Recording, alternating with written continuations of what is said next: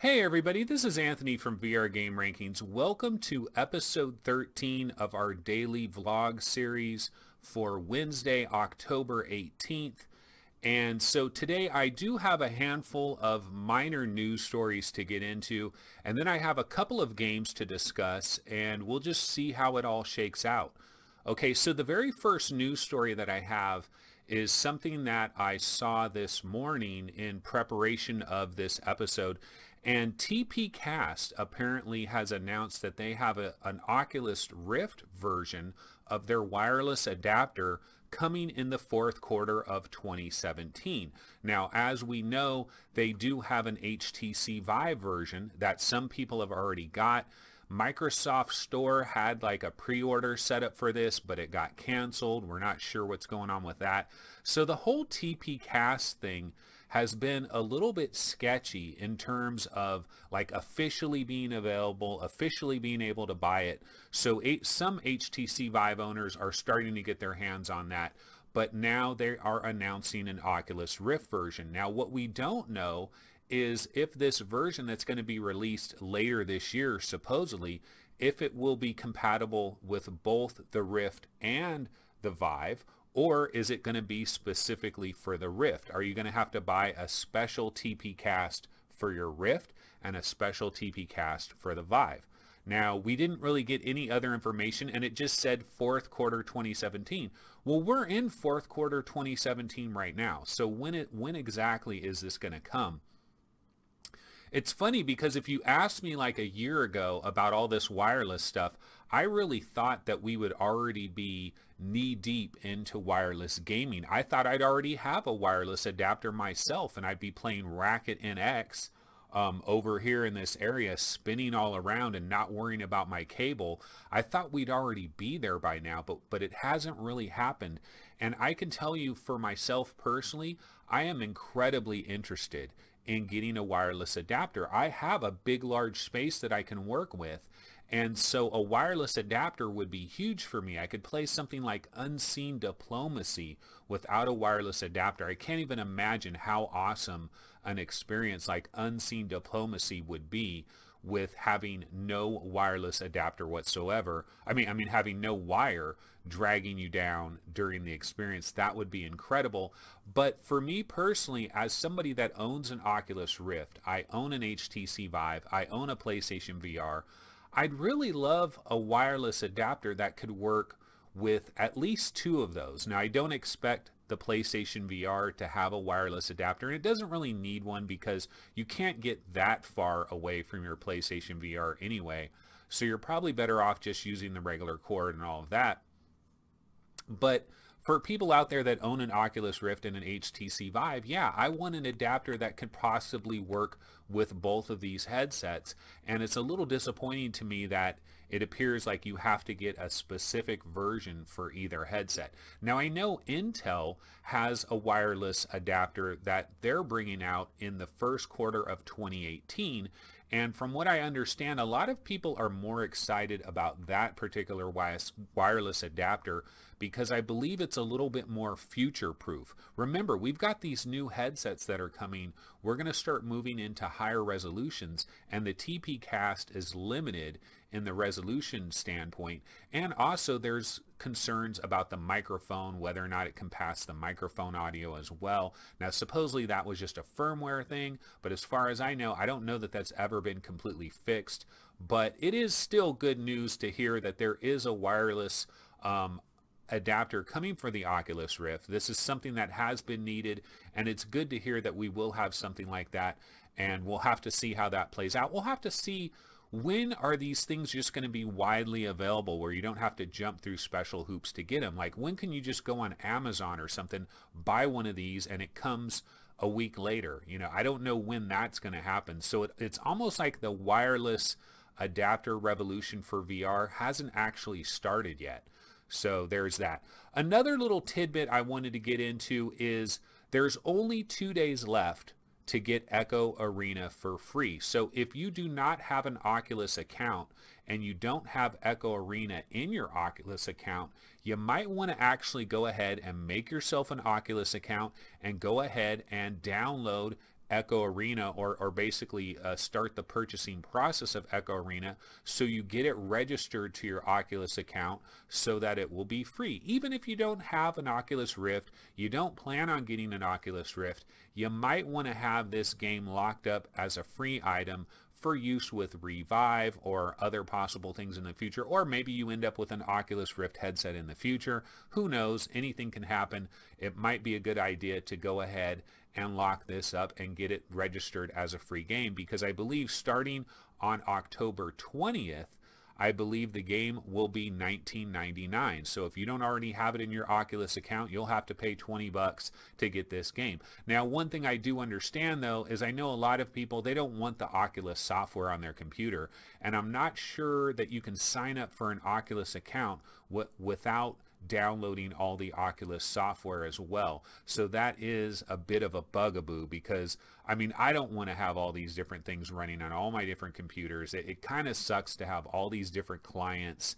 Sometimes they have conflicts with each other and it just gets to be a complicated, convoluted mess. So I understand that. If you don't want to download all that Oculus software just to get this free game, which you may never use in the first place, I can understand that. But I just wanted to let people know there's only two days left and it will go to a paid uh, a paid product at $19.99 for Echo Arena. Okay, um, our third story of the day is the Microsoft mixed reality headsets. They launched yesterday. And unfortunately, so one of the things that I wanted to do, now I, I, told you guys I wanted to go out to the Microsoft store and actually get a demo. Haven't done that.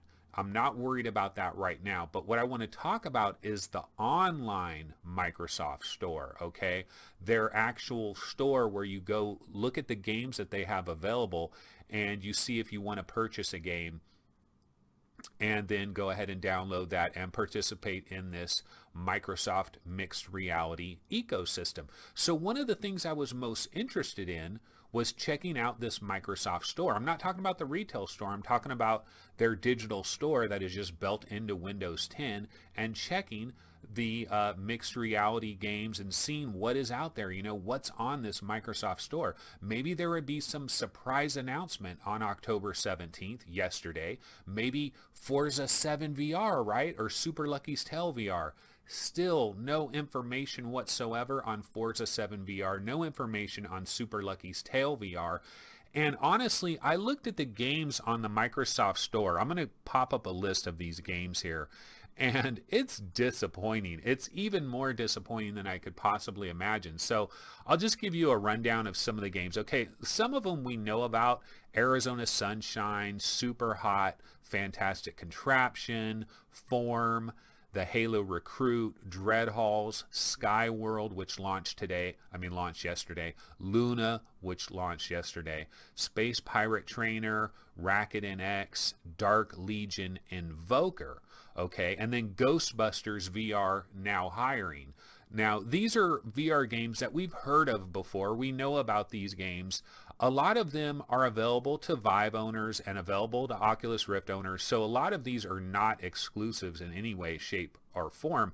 Then there's a couple of VR games that I wasn't too personally aware of. There's Gun Spinning VR, there's Tea Time Golf, Heroes of the Seven Seas, Stunt Kite Masters, Headbutt Factory, Head Square, and Hypercade.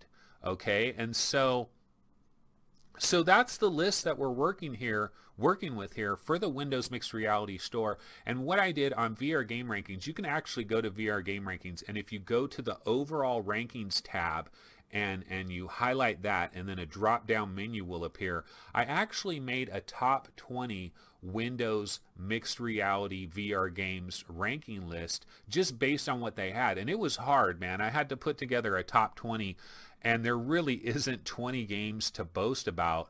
I mean, the top five games that I, I gave for the for the uh, Windows Mixed Reality ranking, I put Arizona Sunshine number one, Super Hot number two, Space Pirate Trainer number three, Racket NX number four, Form number five, Dreadhalls number six, Skyworld seven, Fantastic Contraption eight, Hypercade, which is by Hidden Path Entertainment, I put that at number nine, Tea Time Golf by Barker's Crest Studio. I put that at number 10. Now, Tea Time Golf does appear to be an exclusive because I can't find this on any other VR platform as far as I can tell.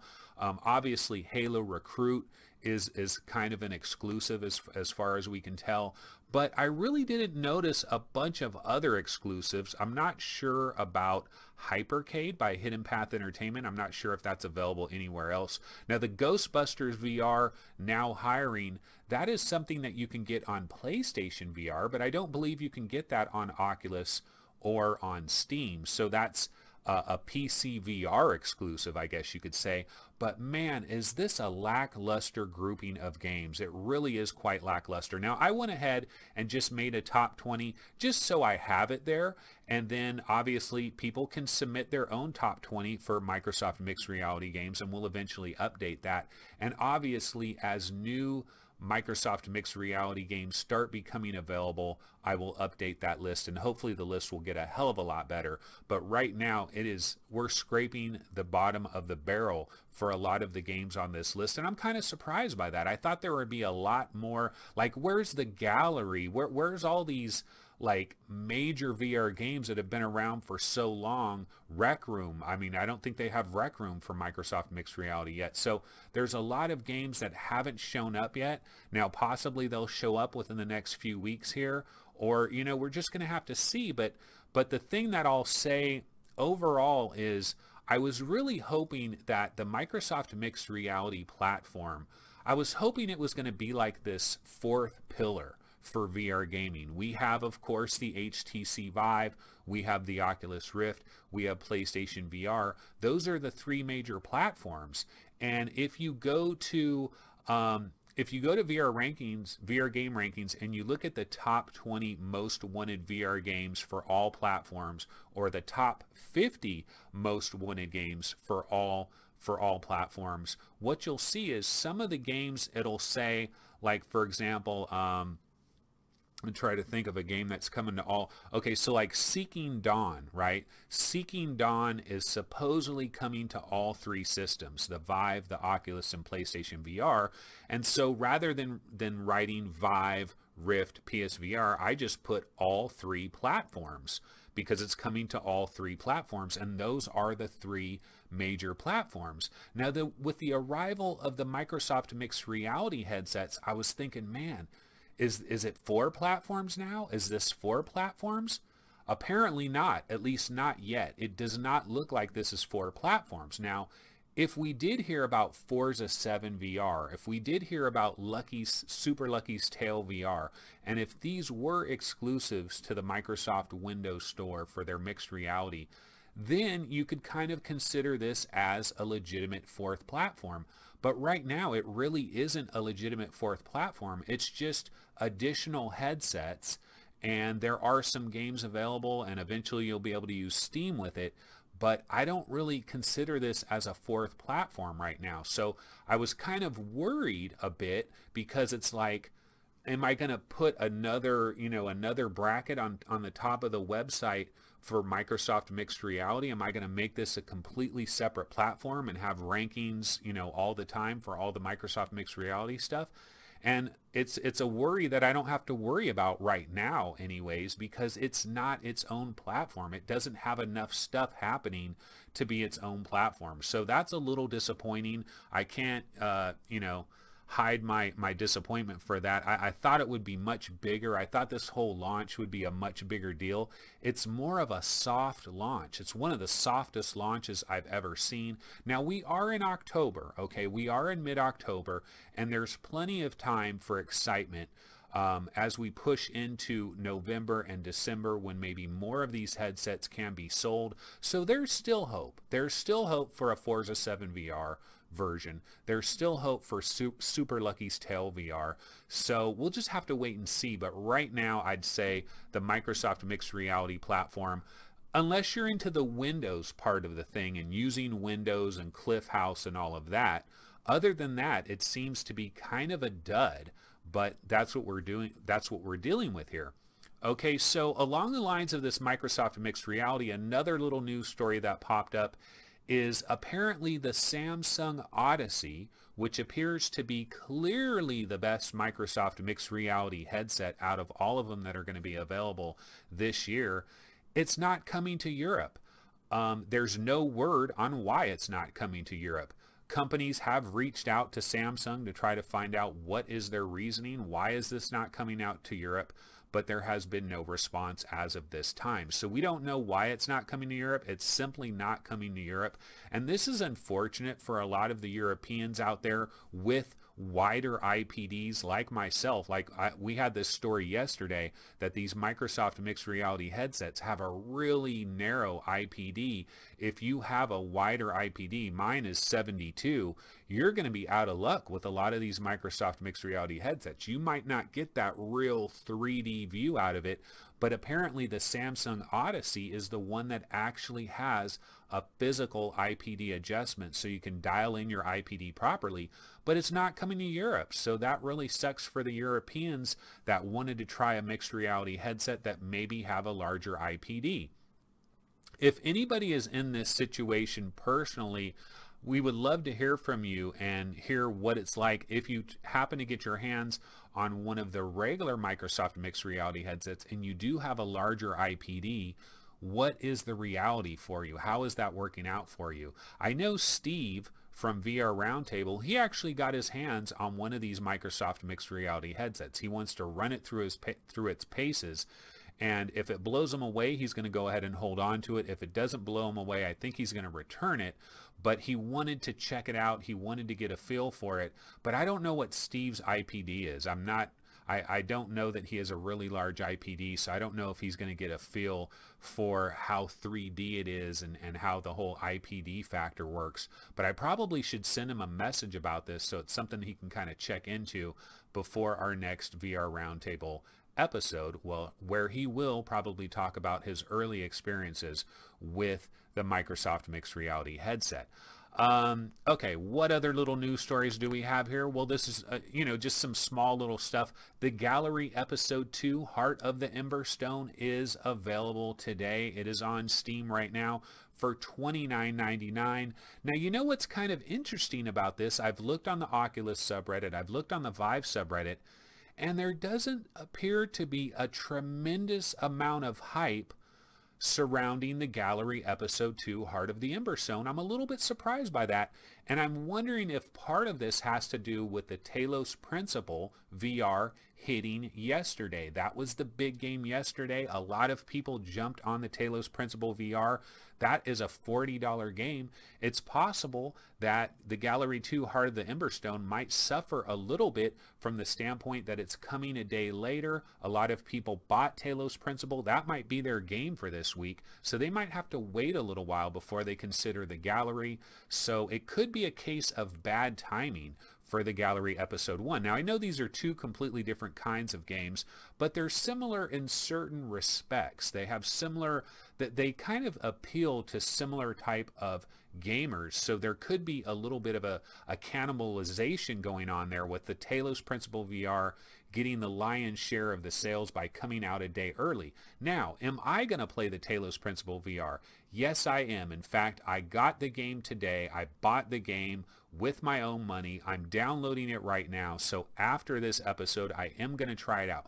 My theory with the Talos Principle VR is I'm going to play this game for at least an hour and if it impresses me I'm keeping it if it doesn't I'm going to go ahead and and do a refund um, and I don't normally refund Steam VR games so it's going to have to really disappoint me for me to refund it I tried to get a code from Croteam.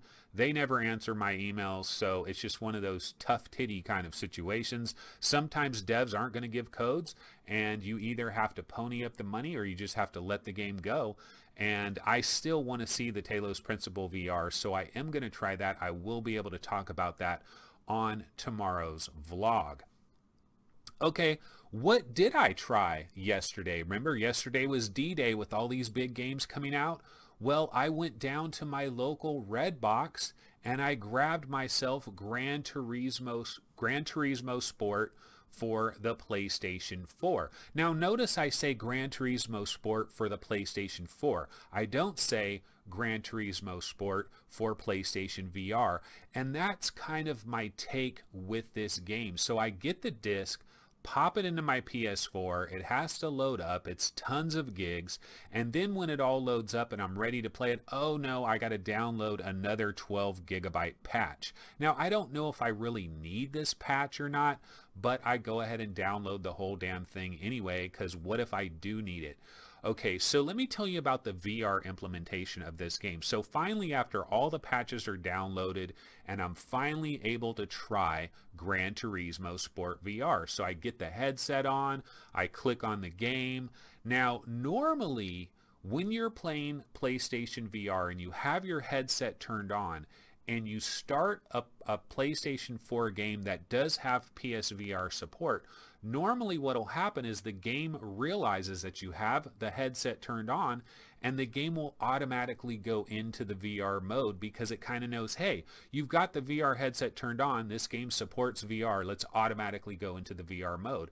That did not happen with Gran Turismo Sport, and that was kind of the first bad sign that kind of started the whole thing off, and it was all downhill from there.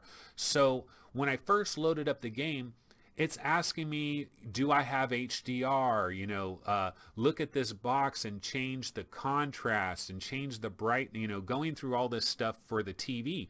I'm wearing my headset. I don't give a damn about this game on the TV, but it's making me go through all these different menus and stuff. So I have to go through all this crap. And all of this is flat screen, by the way. It's just on the, uh, there's no VR implementation at this point. So I'm going through the menus and I find where the VR option is and it's kind of buried and it's almost like VR tour or something. It's almost like this little extra thing like oh yeah there happens to be a little tiny VR support.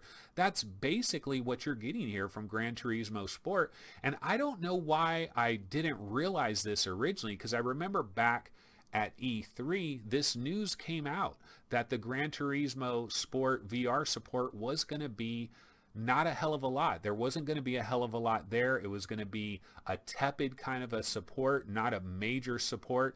And I don't know, I just kind of forgot about that, I guess. And, and I, I was excited when I went into this experience and I thought, you know, this might be really cool because I remember seeing that trailer that recently came out that Sony had where they're showing off new games coming to the PlayStation VR and they were showing footage of people playing Gran Turismo Sport in VR and it looked pretty damn good. So I had a little bit of excitement going into this. So anyway, I finally get all the VR stuff loaded up. I'm in this little VR thing.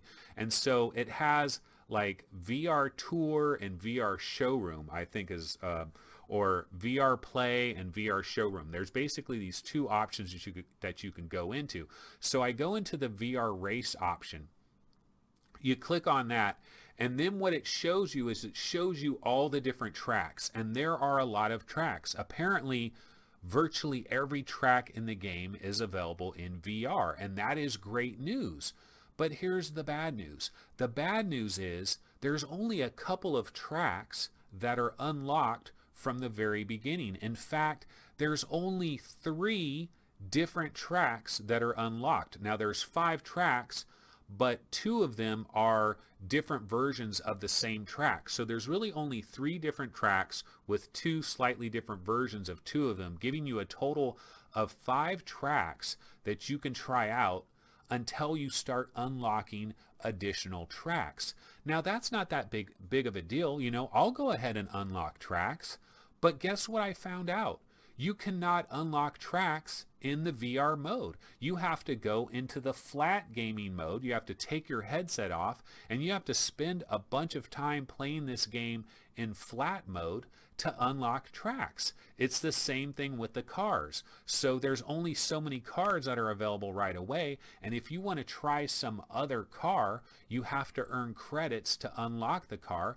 But as far as I could tell, I couldn't earn any credits whatsoever in the VR mode of the game. So again, you have to go out to the flat mode and play the game a whole bunch to unlock credits to be able to buy cars so that you could then eventually see these cars in the VR mode. Now this really sucked and it sucked for me personally because I can tell you this is kind of off on another little tangent here, but I am really into the Ferrari 458. Okay, Ferrari 458 Spider. It's a particular type of car that Ferrari makes and I want one of these cars, okay? I actually it's it's on my dream list. I want to own a Ferrari 458 Spider. Now I know that's ridiculous cuz these things cost a quarter of a million dollars and why the hell would anybody in their right right mind spend a quarter of a million dollars on a goddamn car?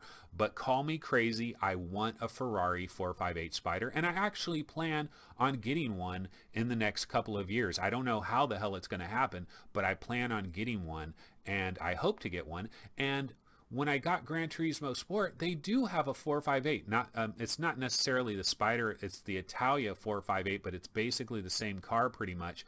They have that in there, but it costs 300,000 credits or whatever, and they only give you 50,000 credits automatically. So I would have to go, I would have to take off my headset. I would have to do a whole bunch of races and different things trying to earn credits so I could have the 300,000 credits necessary to buy this Ferrari 458 Italia. And then what would happen is I could have that car and then when I'm going into the VR races, I could go into my garage and I could select that car and then I could actually drive that car in VR, which would be super cool because it's got the real steering wheel. The, the one nice thing about Gran Turismo Sport that I will say is the interiors, the cockpits of the car, the steering wheel, all of that looks good in the car looks really freaking good. This is what Polyphony Digital is all about. This is where their skills are. They're all about details.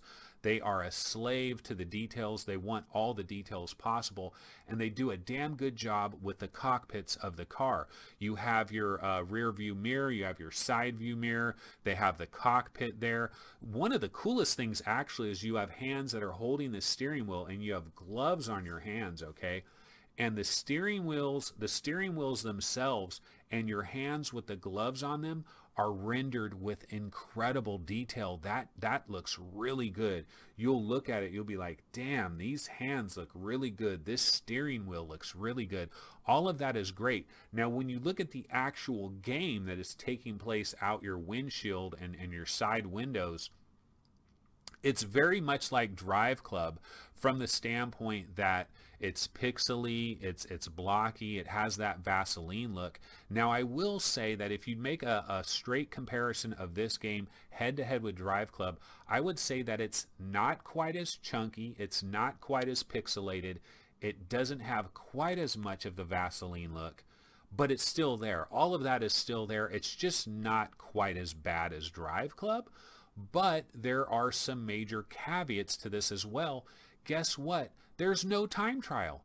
There's no time trial as far as I could tell in VR mode. The only thing that you can do in VR mode is you can race these various tracks against one other car.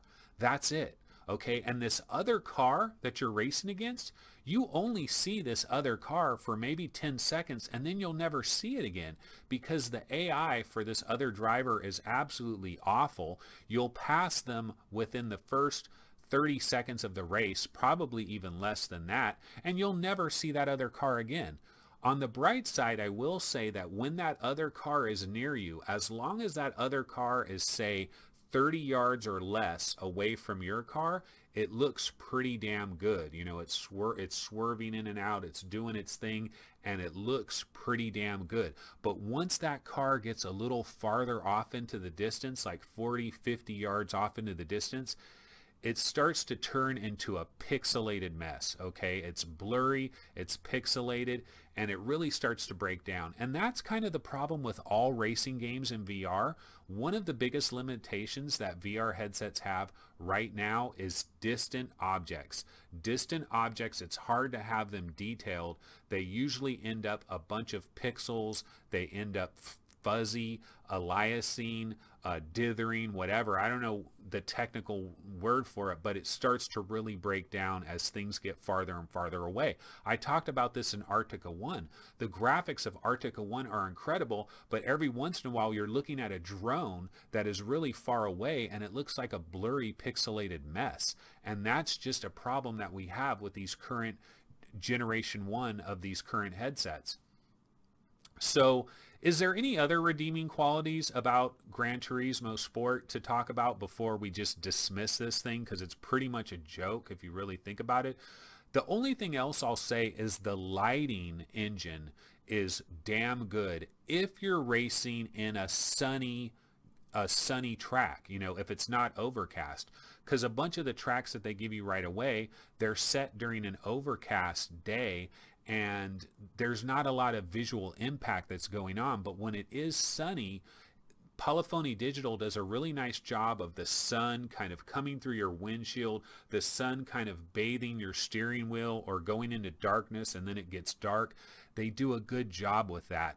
Also, I will say that the tracks overall, okay, so the roadside detail, like things that are on the side of the track, like little houses and people and little things that are along the sides of the track, that stuff looks really bad. That stuff looks like PlayStation 2 quality. It looks like you're playing a PlayStation 2 game if you start looking at the roadside detail. But if you take the tracks in totality of just the track itself, some of these tracks look pretty damn good, especially when they have you in like an actual speedway, almost like an Indy 500 track where it's just an oval and you're making the left turns constantly.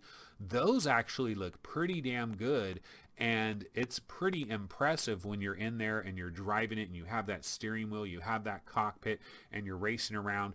That actually looks pretty good. So, I mean, there were some, some minor parts during my experience where I was actually a little impressed with what was going on here. But when I came to the realization that I'm limited to these tracks and I'm limited to these cars unless I take my headset off and spend a bunch of hours playing this game to try to unlock additional tracks and try to unlock additional cars, I don't care about flat gaming anymore. I don't want to play flat gaming anymore. So I don't want to spend any time with my headset off if I'm going to play a video game, it's going to be VR. I don't have any time for flat gaming anymore. And so for them to lock VR content behind non-VR game time makes literally no sense whatsoever. But what we're realizing with this Gran Turismo Sport is that VR, the VR support, is a complete afterthought. I believe this game is $59.99 if you wanted to go buy it at Best Buy or wherever. 60 bucks to get Gran Turismo Sport. If all you're interested in is the VR mode, do not do it whatsoever. It is not worth 60 bucks. I don't even know if it's worth 19.99. Like if Polyphony Digital and Sony, if they made the VR version of this game like its own separate entity for 20 bucks on PSN that you could download, I don't even know if it's worth that. I mean, that's how bad it is. Unless they were to unlock all the tracks and all the cars, I just can't see it. You know, so Gran Turismo Sport, major disappointment. It's almost it's almost disappointing that they even bothered with it in the first place because this is almost a blemish on PlayStation VR. This is fuel for the haters. The haters will say, yeah, Gran Turismo Sport doesn't even care about VR. Look what they did with VR. And it's true. They really don't, you know? And so it's kind of disappointing from that standpoint because I really thought this could be a prime time PlayStation VR showpiece type of game. But if you want racing action on your PlayStation VR, go with Driveclub VR, go with Dirt Rally. Do not go with this. That's Gran Turismo Sport. Okay, I'm actually past the 30 minute mark. And once again, I didn't get to raw data on PSVR. Um, hopefully, I'll talk about that tomorrow. Um, and hopefully I'll be able to talk about the Talos principle and also the gallery episode one, I mean episode two, Heart of the Emberstone. I should be able to talk about all that stuff on tomorrow's episode. So definitely stay tuned for that. And I'll see you guys tomorrow. Take it easy.